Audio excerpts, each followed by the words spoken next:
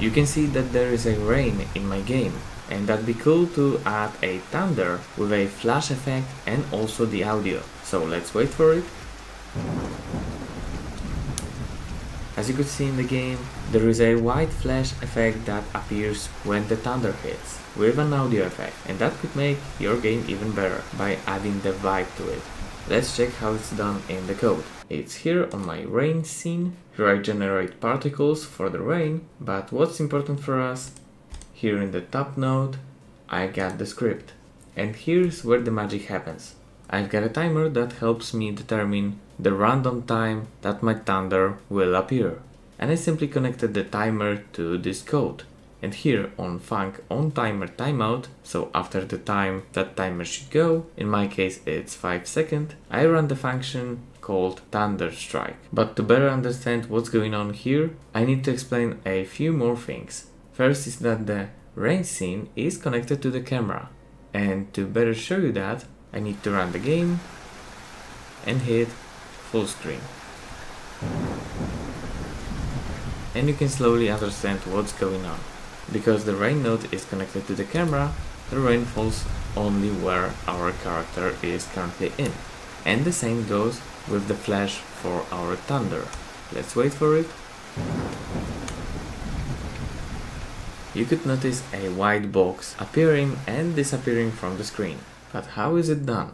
Let's get back to the rain scene and here we've got animation player. Let's do this part step by step. So click here on animation, new, and we can call it Thunder Strike.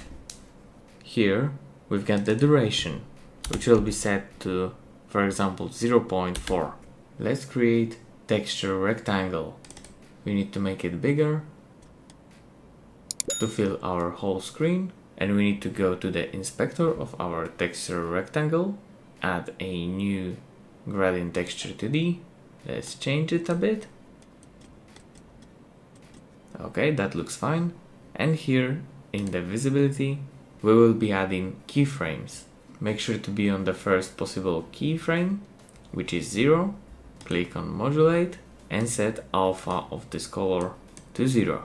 Then here on this key icon and create we need to move on our timeline a bit further to 0.1, change the modulate to the max value, click the key icon to add the keyframe, and in my case, we'll go to the last keyframe and again change the modulate alpha to 0 and click the key icon. Let's play the animation. You can see that it flashes. So our animation is ready and it's called Thunder Strike. Let's get back to our script here in the function thunder strike with underscore, let's leave the first line for now and focus on those two, which is audio thunder.play. Audio thunder is audio stream player thunder, so when this function gets called, the audio gets played. And we would like to do the same thing with our animation. So the animation play and it's thunder strike. Nice.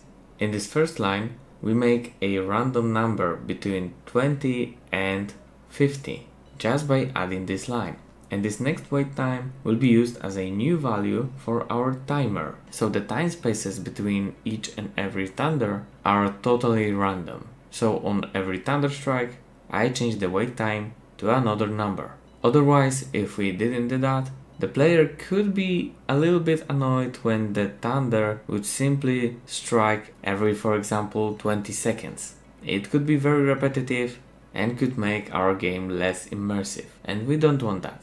And on ready, I do the same thing to set wait time to a random number between 20 and 50. After all of that, let's see the final result by clicking run the project and we have to wait for the thunder. The flash effect is on a whole screen, also with the audio part. And that's it. I hope that this feature will improve your game. Let me know if you enjoyed this video, leave a like and subscribe Thank you for your time and bye for now.